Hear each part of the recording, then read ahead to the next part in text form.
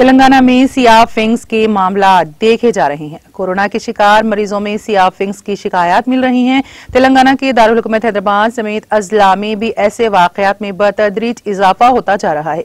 ऐसे मरीजों का इलाज शहर हैदराबाद के कोटी के ईएनटी अस्पताल में किया जा रहा है। सियाफिंग के मुतासरी में तकरीबन पचानवे फ़ीसद जैबतीस से मुतासर अफराद है। डॉक्टर्स ने कहा कि कोरोना से सेहतियाब होने वाले अफराद में ये फिंग्स पाया जा रहा है। मेदक, भद्रादरी कोतागुड़म खम्मम में ऐसे वाकयात में इजाफा देखा जा रहा है।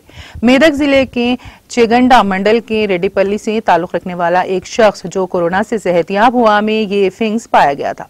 तमाम इसकी सिया फिंग्स की अलामत की वजह से मौत हो गई। 28 अप्रैल को यह शख्स कोरोना से मुतासर पाया गया था। इसका इलाज सिद्दीपेट के अस्पताल में किया गया था। दस दिन के बाद इसको रिपोर्ट मुनफी आई, जिसके बाद इसको घर जाने की इजाज़त दे दी गई थी।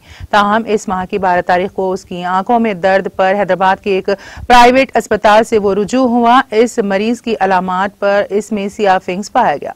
मुतहदा खम्मम ज़िले में एक शख्स के कोरोना से रुबे सेहत होने के बाद सियाफिंग्स की अलामत पाई गई। सियाफिंग्स के मामला में इजाफे के पेश नज़र महकमे सेहत व तबाबत चौकस हो गया है। सियाफिंग से मुतासर कई अफराद का इलाज कोटी के ई एन टी अस्पताल में किया जा रहा है। इस अस्पताल को सियाफिंग्स के मरीजों के इलाज का नोडल मरकज बनाया गया। सियाफिंग्स के शिकार अफराद को शेष के मसाइल होने पर उनका इलाज गांधी अस्पताल में किया जा रहा है। कोरोना के खात्मे के बाद जिसम में सियाफिंग्स हमला करता है।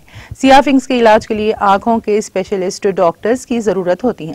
इसलिए हैदराबाद के मशहूर आँखों के सरकारी अस्पताल सरोजनी देवी आई अस्पताल के डॉक्टर्स की खिदमत हासिल की जा रही हैं।